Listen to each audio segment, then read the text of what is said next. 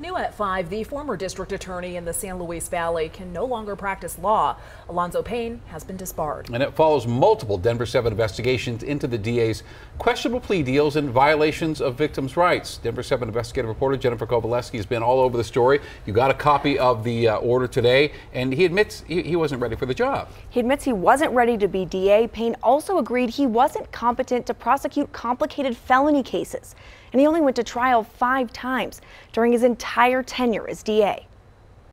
Denver 7 Investigate spent months exposing serious allegations against the former San Luis Valley District Attorney.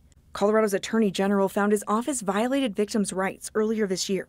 Alonzo Payne resigned in July while a recall election moved forward against him. The recent Supreme Court documents outline even more violations. It details how Payne failed to communicate with judges, defense attorneys, and victims, dismissed cases at the last minute, and in the cases he did try, failed to get convictions. His disbarment from practicing law goes into effect next month. We called Payne for comment, but he has not returned our calls. I'm Denver 7 investigative reporter Jennifer Kovaleski.